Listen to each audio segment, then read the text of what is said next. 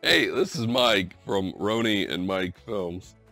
And tonight, you know, I want to talk about these things. My phalanges. Usually during the winter, uh, my hands get so dry that my knuckles end up cracking. So this year I tried a little bit of this O'Keeffe's working hands, right? And it works pretty well, except for it's kind of sticky. I don't like my hands to be sticky.